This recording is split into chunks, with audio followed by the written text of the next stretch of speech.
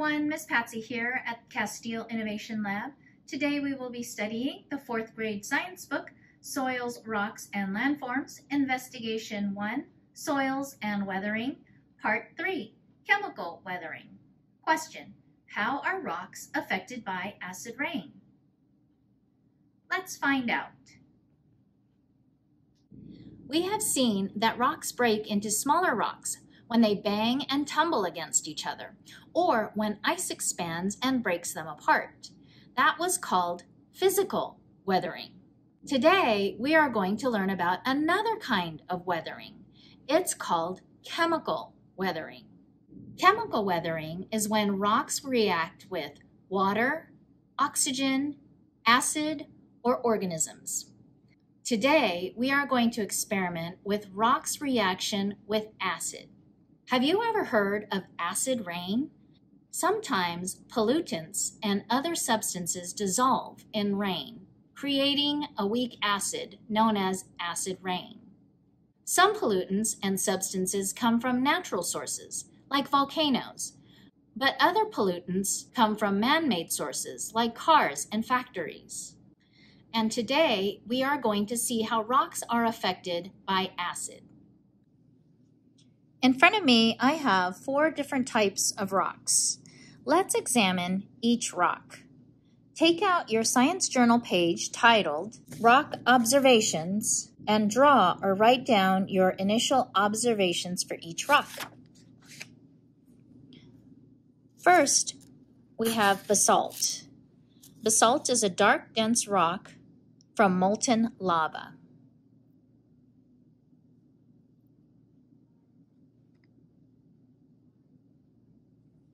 Next, we have limestone.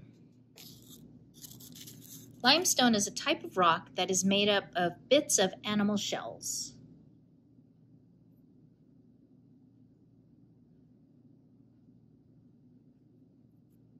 Next is marble. Marble is a metamorphic rock that developed from limestone.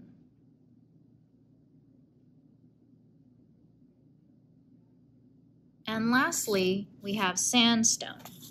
Sandstone is a sedimentary rock made of compacted sand.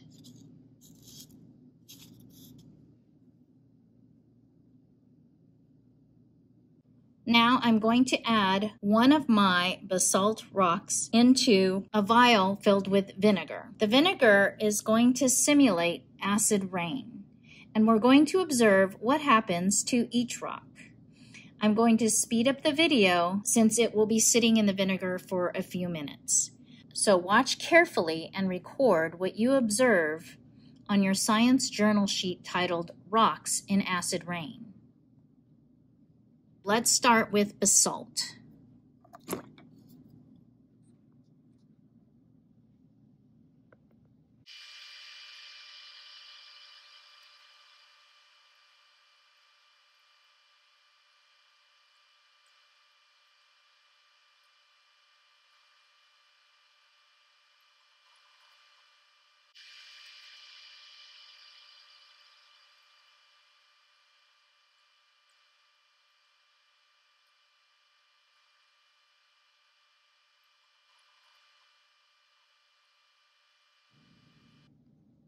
Next, we're going to add limestone to vinegar to see what happens.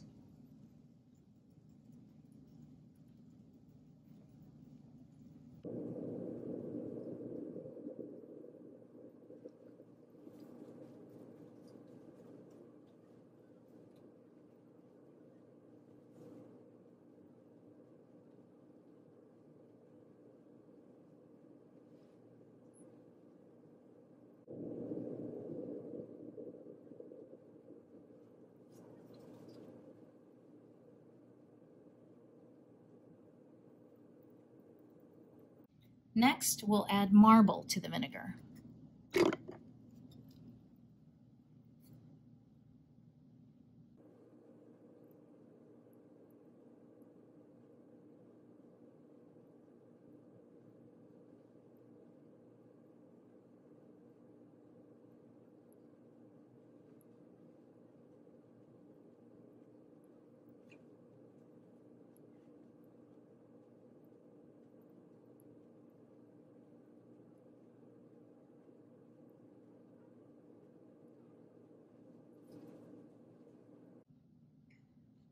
Lastly, we're going to add our sandstone to our vinegar.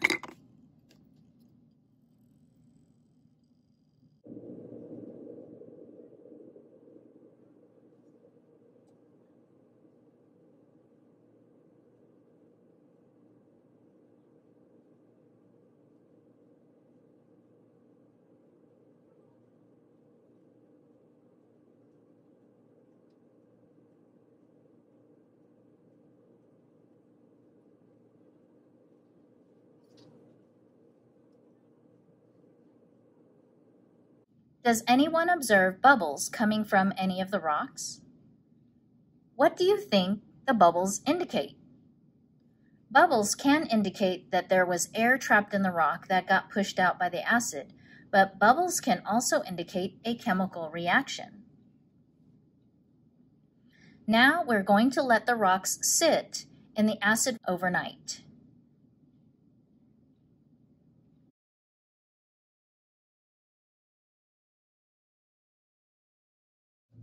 Let's take a look at our rocks that have been soaking in vinegar overnight. What do you observe?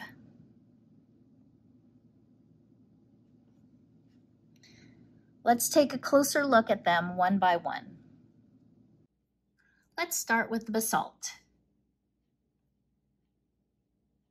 What do you observe?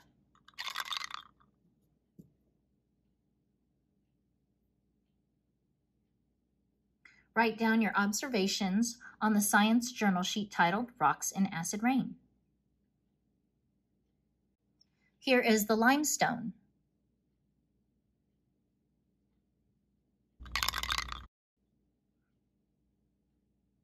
Write down what you observe here.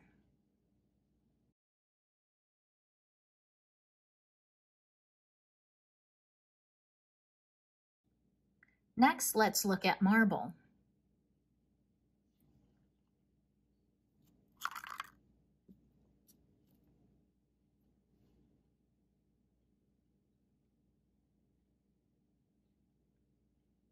Add your observations to your science journal sheet. And lastly is the sandstone.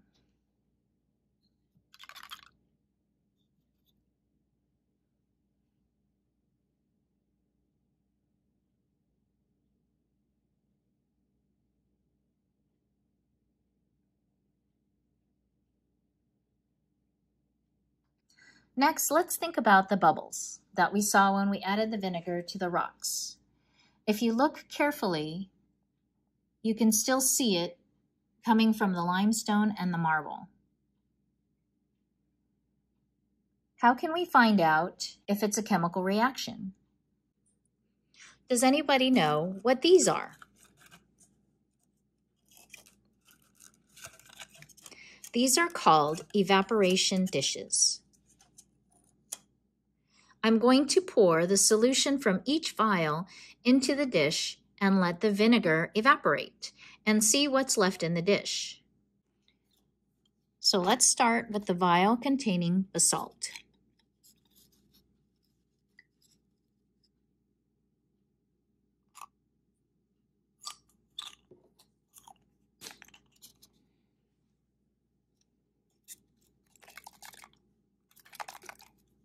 And then the limestone.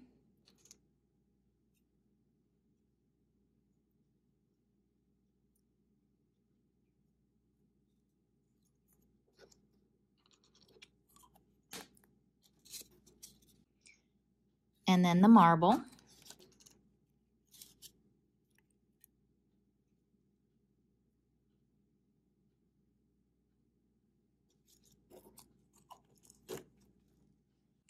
And lastly the sandstone.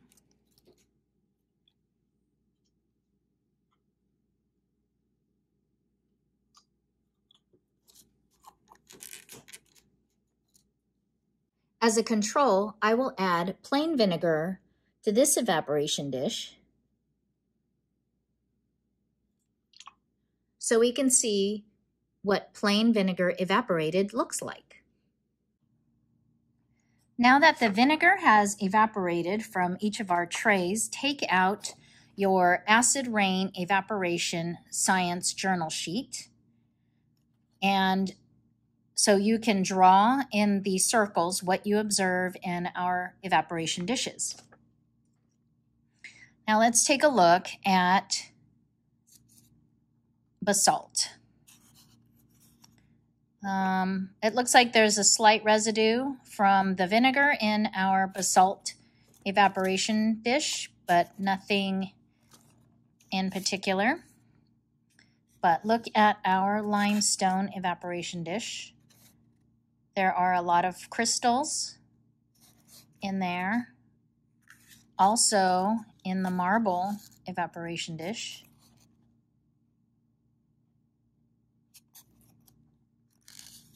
But nothing really in the sandstone dish.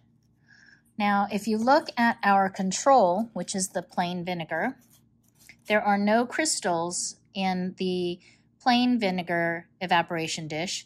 So that means that these crystals in these dishes did not come from the vinegar. So where do you think they did come from? If you guess they came from the rocks, you are correct. But of course, not all of the rocks only from the limestone and the marble. It's because there was a chemical reaction between the vinegar, the acid, and the limestone and marble. So the chemical reaction was between the acid and the mineral called calcite. Only the limestone and the marble have calcite, and the calcite reacts with acids. And since there was a chemical reaction between the vinegar and the limestone and marble, this is an example of chemical weathering.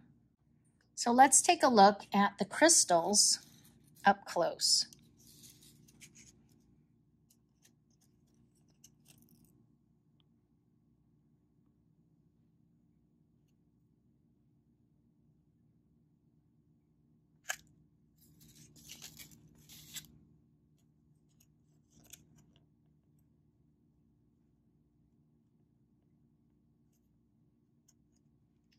Pretty cool. Let's go over our vocabulary words for this investigation. Chemical weathering, when a chemical reaction changes a rock. Pollutant, a substance that makes something impure. Acid rain, rain that is unusually acidic due to pollution. Basalt, a dark dense rock from molten lava. Limestone, a type of rock that is made up of bits of animal shells. Marble, a metamorphic rock that developed from limestone. Sandstone, a sedimentary rock made of compacted sand. Dissolved, to become absorbed by or to disappear into something else. Vinegar, a weak acid used in cooking. Evaporation, process of turning into vapor. Chemical reaction, a process in which one or more substances called reactants are changed into something else and result in different substances called products. So what does this tell us?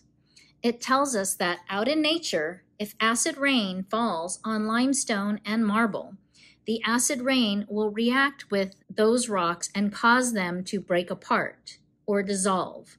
This is called chemical weathering. I hope you enjoyed our investigation for today. Until next time, have a great day.